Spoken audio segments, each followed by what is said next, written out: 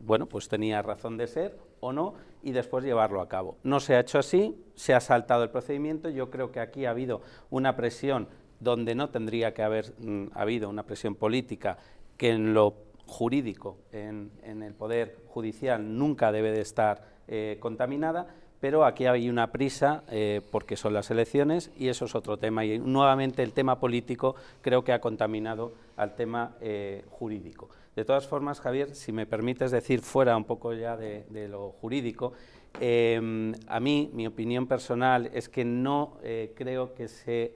arregle nada paseando a muertos, incluso aunque los muertos sean dictadores de un bando o de otro